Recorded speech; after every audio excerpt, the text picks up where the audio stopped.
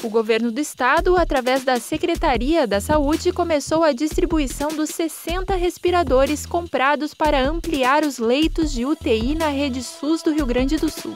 Os equipamentos adquiridos pelo estado com investimento de 3,6 milhões de reais de recursos federais para a saúde foram transportados de Jaraguá do Sul, em Santa Catarina, até Porto Alegre por equipes da Secretaria da Saúde.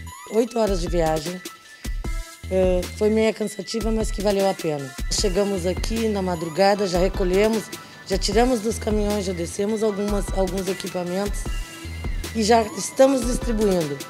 No primeiro dia de distribuição, representantes de hospitais de Bento Gonçalves, Cachoeira do Sul, Erechim, Osório, Sapiranga, Santiago, São Jerônimo e Garibaldi fizeram a retirada dos equipamentos em Porto Alegre. Eles vão ser distribuídos para hospitais que têm condição de abrirem imediatamente já leitos de UTI, que já possuem estrutura adequada na sua instituição e equipes completas né, para a distribuição desses equipamentos e são distribuídos em várias regiões do estado.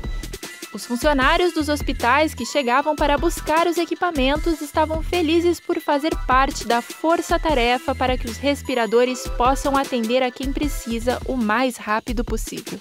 É uma sensação muito, muito, muito, muito boa tá, a gente está ajudando os outros. Vai representar muito para nós. Nós estamos precisando bastante desses respiradores, né? É, com, tem bastante internação no hospital, tudo. Né? Mas vai representar muita coisa para nós. Né? Graças a Deus que chegou.